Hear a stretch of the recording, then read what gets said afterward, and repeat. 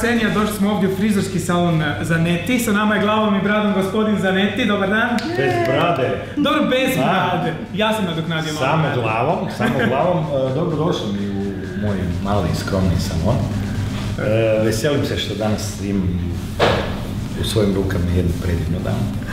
Znači ženu koja mene treba. Ko ozeblo sunce. Tako je. znači, žena koja je redovito na setovima, razno raznim filmskim. I stalno mora tretirati kosu svoju sa agresivnim šamponima, sa puderima za suho pranje. Znači sve se to traži od profesionalnih glumaca. Ali zato ima lijeka. Ima lijeka.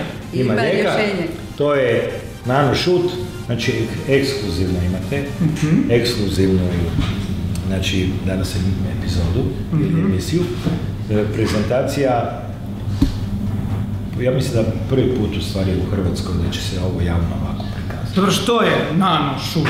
Na, kao što sama izvedenica riječi nano govori, a sve je danas u nanotehnologije, putem toga mi ga zovemo pištolja, ćemo upucati te nano čestice ravno, direktno u kosu. Izgleda jako efektno, ali šta je najveća poanta? Najveća poanta je što e, trenutni efekat je na kosi vidljiv. Znači kosa odmah postaje svilenkasta, e, puno deblja dlaka, znači onako popuni se svi ti cistini koji su popucani, se jednostavno vrate u prvobitnom položaju. A samo da pitam, a koliko često se radi taj tretman? E, pa ovisi o dužini kose, ovisi o oštećenosti kose, E, znači nekad možemo u dva mjeseca, nekad u, recimo s obzirom da je ovo tretirana kosa permanentnom bojom, ovo bi vjerojatno trebalo svaki mjesec i pol dana. I nije predugačka, ali nije ona toliko ni oštećena koliko je u stvari tanka. Da, Tako, da. njoj treba u stvari malo eks, znači volumena. Znači imat ćemo, imat ćemo prije i poslije.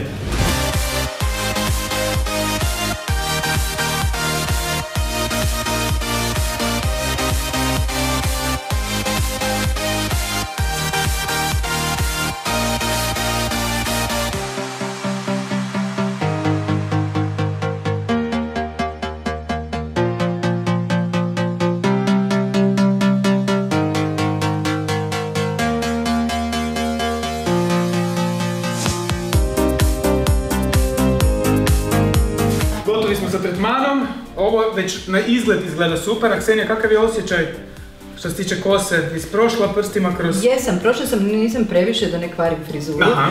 ipak, ali jako sam zadovoljna i zahvalna zato što osjećam da mi je kosa punija i ima više volumena, što je meni jako važno zato što imam tanku kosu. Evo, ja sam isto zadovoljan, e, no nije ovo kraj.